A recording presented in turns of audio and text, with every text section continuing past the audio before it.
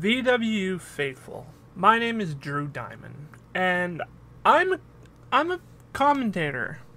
I have been for a long time, but I guess VW Prestige 4 Night 1 will go down as a kind of a turning point in my career where people got to see a slightly different side of Drew Diamond than they're used to.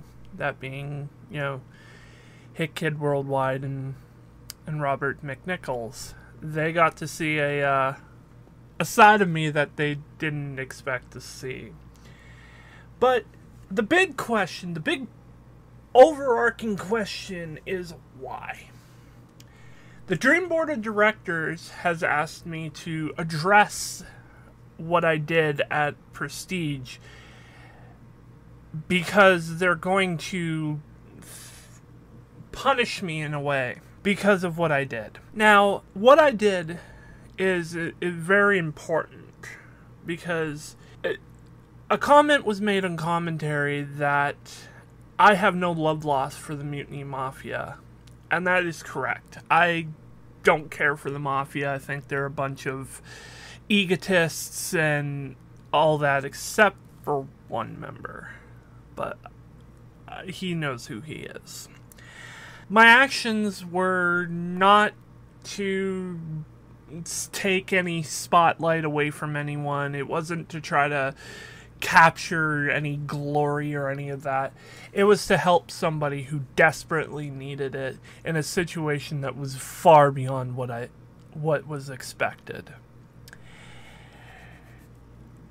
Do I understand that I've made myself a possible target? Absolutely. But you know what? I've never shied away from a little bit of controversy every once in a while because, as one great man once said, controversy creates cash. But so let me let me lay it out for you. Let me put all the cards on the table and let me tell you what led to me walking out on that stage in in New Jersey as the Canadian Arabian Muhako Hassan. I had been I I had gotten tickets to go see the show. I was sitting in the crowd, and Deshaun Walton knew I was there. And me and Deshaun had talked many times about, you know, him having an involvement in in Dream and all that, and we, you know, hit it off and we're pretty good friends to the point we exchanged phone numbers. And I was sitting watching the show, and as the main event was unfolding, I get a text message on my phone saying, Hey, meet me at the concession area. I go and meet Deshaun, and he tells me, We need to do something about the mafia. They're starting to become a bit of a nuisance. So he's like, Come with me and he takes me into the backstage area and into one of the locker rooms where stands Chris Hero.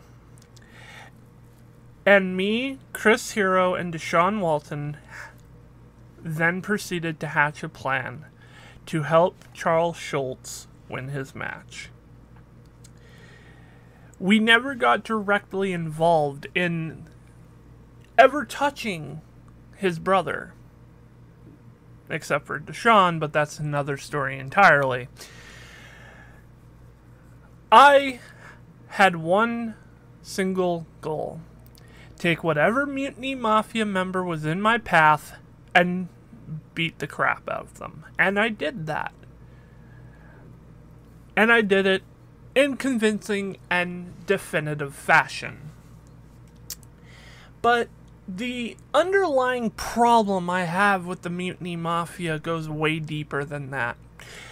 I am the commentator and talent scout for a company called Dream Pro Wrestling. It has not debuted officially yet, but it's been doing its live circuit around the world er, around the world. And my brother is a part of that company.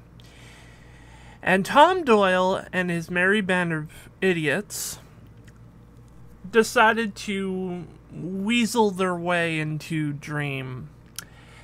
And my brother, who was the heavyweight champion at the time decided it would be a, a fantastic idea to drop the title unknowingly, unexpectedly to Tom Doyle in exchange for being a part of the Mutiny Mafia. And Jason, you know who you are. So, I don't even need to get into that. But that is why I have a deep seated hatred for the Mutiny Mafia. And I know that's going to probably get me into some trouble, and I'm probably going to have to answer for my crimes and uh, whatever. I'm not that worried about it. However, I am worried about what my actions are going to, or what the Dream Board of Directors are going to do in regards to my actions at at Prestige. Seeing how I'm not under contract with VW. But I have a loyalty to this industry. I have a loyalty to all co- companies. And I hate when a group of people decide to just run roughshod over a company and devalue it in such a violent way that it just creates nothing but strife, drama, and overall bullshit. Mutiny Mafia, AWOL, Blood Trail, the Syndication, all these groups have one thing in common. They are made solely not for not to push forward the company and make it better and all that. No, it's for their own selfish goals and their own selfish vanity. It's to make them look good, fuck everybody else. I'm not about that. I'm about everybody gets a shot. Everybody gets an opportunity. Just like I've been given an opportunity. I got helped by people. I got help behind the scenes to get to where I am right now. I would not be a commentator right now if it wasn't for people stepping up and believing in me and putting my name forward. I owe a debt to those people. Charles, I don't know you. You don't know me. But I don't I don't care. You know me now. You know me as a friend. You know you can rely on me.